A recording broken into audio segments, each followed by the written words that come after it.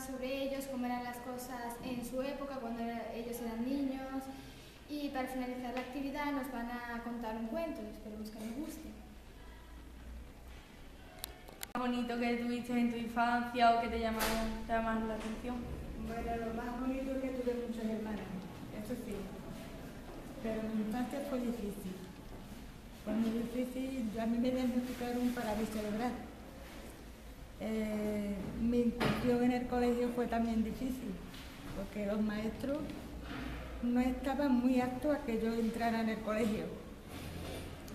Y entonces, pues, un hermano pequeño, 20 meses más chico que yo, me enseñó a leer y escribir. Ya sabe de hora. Esto también fue lo más hermoso. Eh, perdona, no... ¿Qué, a qué, ver, jue- qué juegos realizabas cuando eras pequeño? ¿Qué juegos organizaba? Yo estaba en una tiendita, o sea, los juegos los veía. No los organizaba ni podía jugar porque no podía correr, no podía saltar, no podía nada.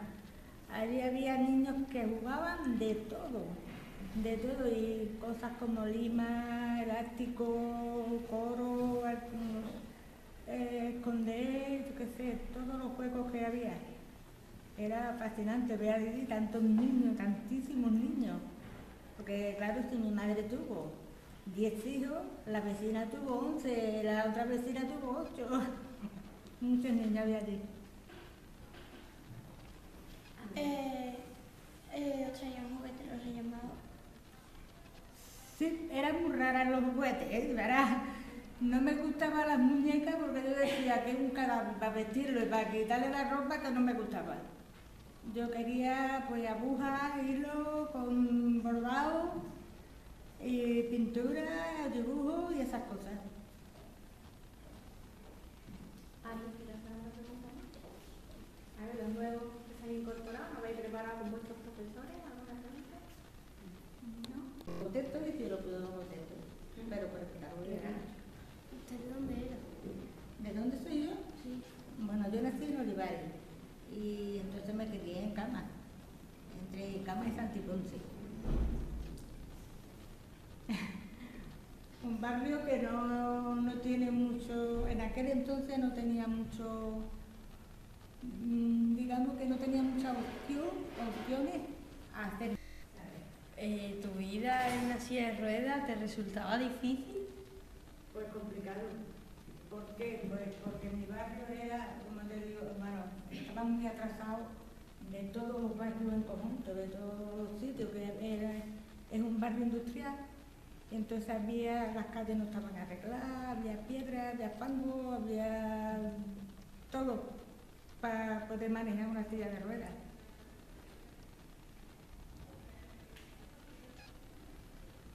Eh, ¿Cómo reaccionó tu familia cuando se enteró de que tuviste una parálisis cerebral?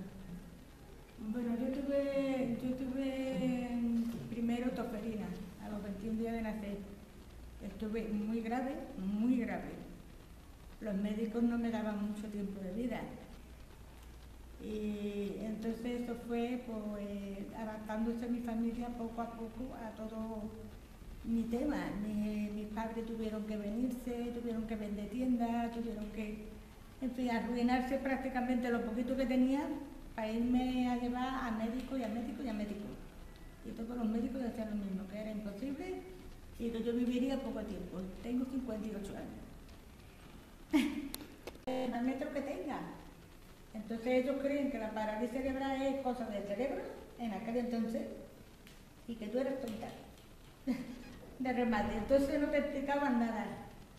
Y entonces, pues, pues yo fui adaptándome, repito, a todas las, todas las inconveniencias que tenía en aquel momento. Y parece que me llevé, me llevé porque aquí estoy.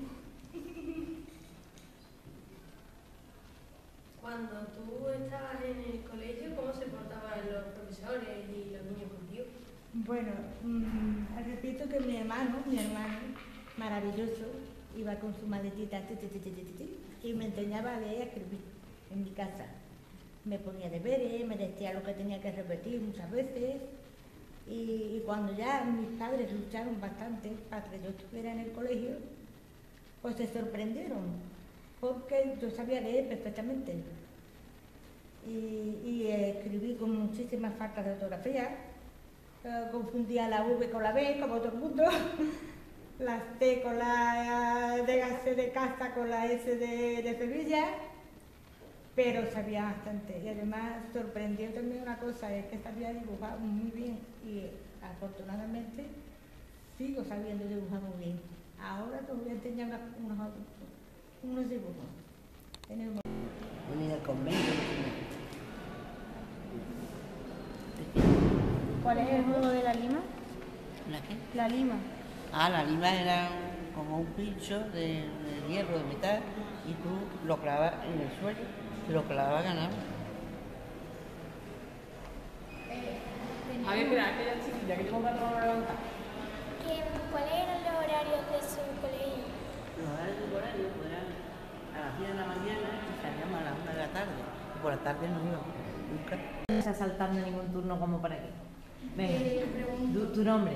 eh, me llamo Carmen y le pregunto qué le parece las nuevas tecnologías y si le resulta fácil, porque mi abuela eh, es, le explicas una cosa y a los dos segundos, ¡ay, mira esto, mi arma! Eso es cuando te Pero a mí me pasa con la costura, ¿eh? A mí me explica mi madre esto así y al, bueno, dos segundos no, pero al día siguiente que lo tengo que volver a hacer, mamá, ¿esto cómo era? Yo no me acuerdo. Yo qué sé. No, pero es que yo se lo explico 20, 20, 20 veces y y nada. cuando, cuando pasa 20, 20 minutos mismo. Ay, que quiero mirarlo, pero no sé cómo mirarlo, hija mía, ¿cómo se hace? Igual siempre. A ver, por aquí hay otra mano, Jorge, y después Andrés. Ah, antes Andrés. ¿Y el cuando eres, Jorge? Eh, Di tu nombre. a- Andrés, mi nombre. Y a mí me pasa muchas veces con mi abuelo el parecido a lo de Carla, pero es que yo cuando estuve vacaciones en Madrid, eh, mi abuelo no sabía poner una página, abrir una página de internet. Y es que entonces cada, cada minuto, cada hora nos preguntaban, oye, ¿cómo se abre una página? Oye, ¿cómo se abre una página? Oye, ¿cómo se abre una página?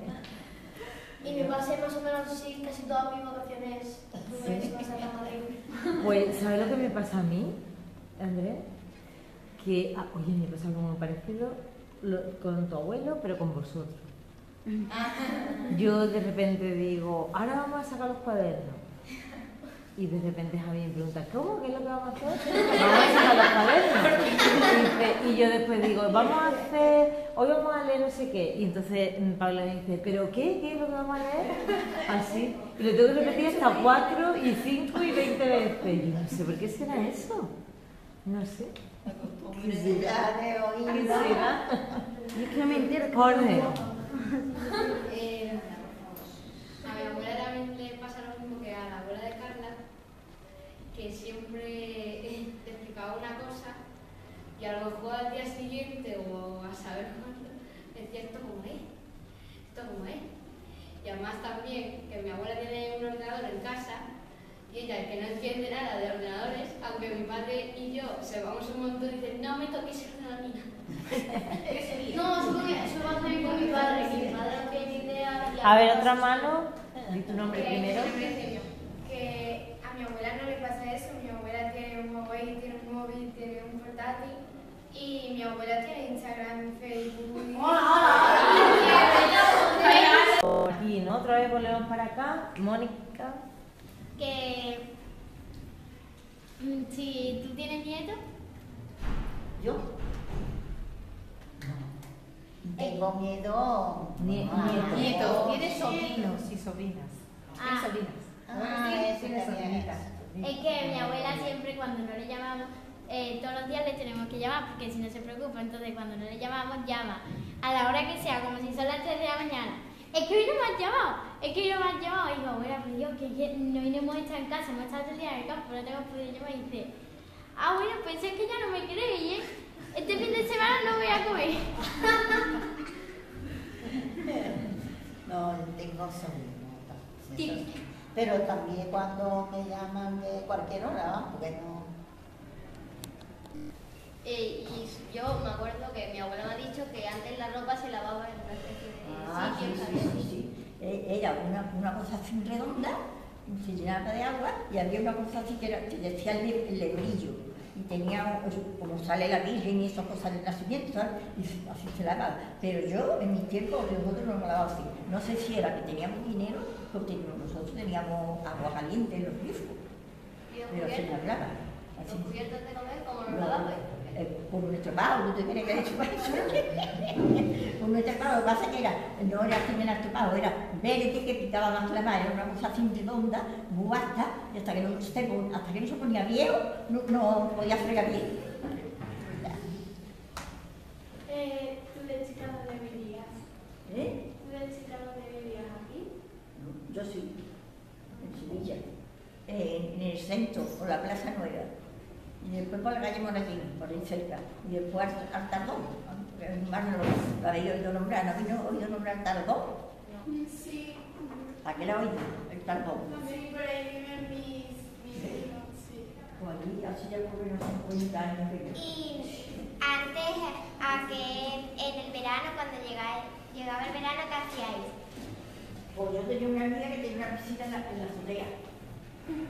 Y, a- y abajo el teatro, un teatro, era de su padre. Esa era súper súper rica. Y teníamos dos o tres nos íbamos y nos, nos, nos bañábamos allí. Y después de bañarnos y secarnos, jugábamos, eso que nos gustaba. Después era con los novios, siempre que nos bañábamos. Yo no sé por qué sí, pero ellos después eran los novios. Ay, ¿cómo está el tuyo? A ver, ¿cómo, es? Uh, qué risa. Y por se pasaba divinamente. Usted, ¿cuánto tiempo pasa en la residencia? Pues yo entro a las ocho y cuarto y me voy, entro en mi casa sobre las cuatro de la tarde.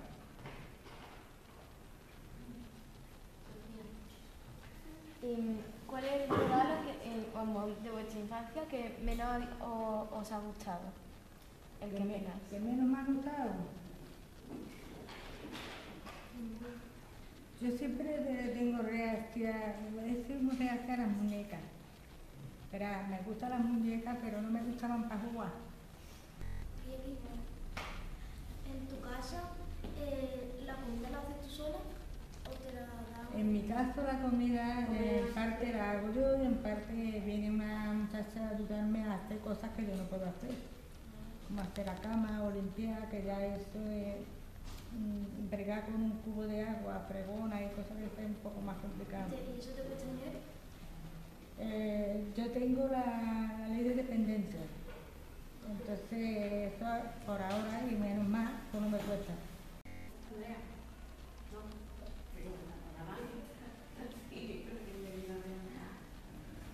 ¿Alguna cosita más?